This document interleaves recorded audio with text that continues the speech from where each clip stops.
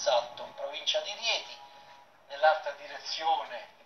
abbiamo l'Abruzzo, se guardi laggiù all'orizzonte quel profilo è il gruppo del Velino. Velino. Da quest'altra parte ci spostiamo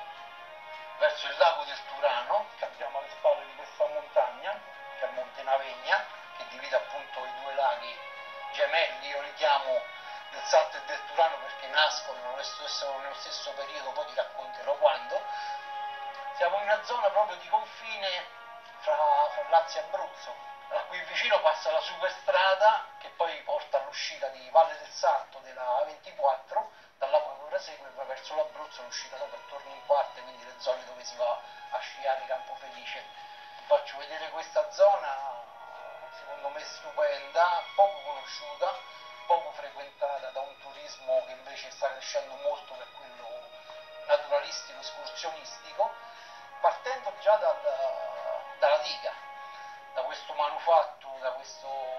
da questa grande opera che risale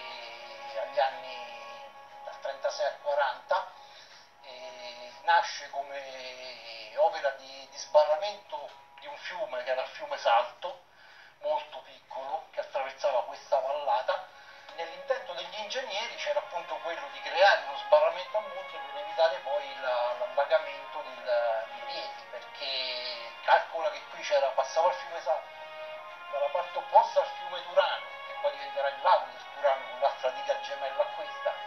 dall'altra parte di Rieti c'era il fiume, c'è il fiume Velino, il fiume Nera, tutti e quattro confluivano sulla piana di Rieti creando chiaramente d'inverno con tutti i loro affluenti, ruscelli, impluvie, creando appunto un piano alluvionale. Se tu immagini che qui, dove adesso c'è eh, tutto questo grande invaso, che tra le altre cose è il più grande bacino artificiale del Lazio, scorreva un piccolo fiume di una piana molto produttiva eh,